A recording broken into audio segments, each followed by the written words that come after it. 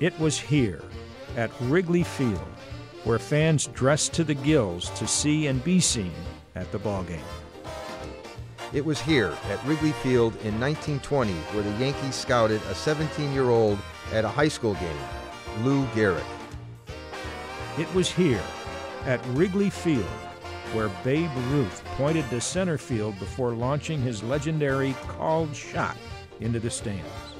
It was here at Wrigley Field where Stan Musial got his 3,000th hit in 1958. And it was here, at Wrigley Field, where Mr. Cub, Ernie Banks, belted his 500th homer in 1970.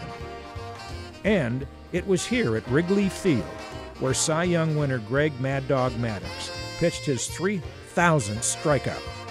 It was here at Wrigley Field where slugger Sammy Sosa hit historic home runs number 61 and 62 to pass both Babe Ruth and Roger Maris and tie Mark McGwire.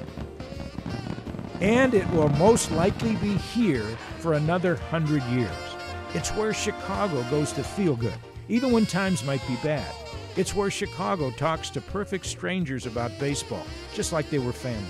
It's where Chicago swizzles beer and downs hot dogs and pretzels.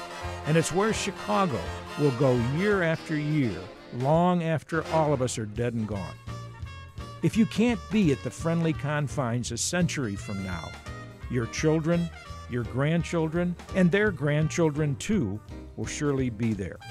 Like Ron Santo Jr. and I expressed to our fathers, and you probably did too, the cry will never die.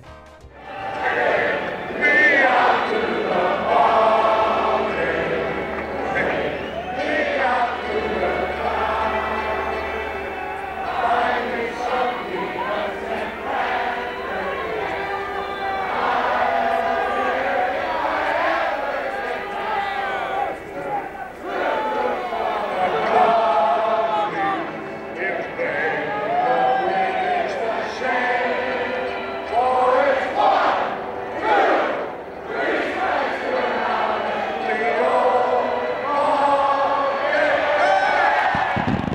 See you at the ball game at Wrigley Field.